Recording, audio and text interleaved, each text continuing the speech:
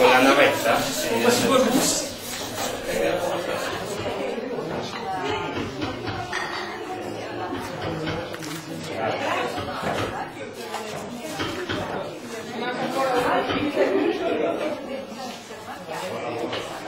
Thank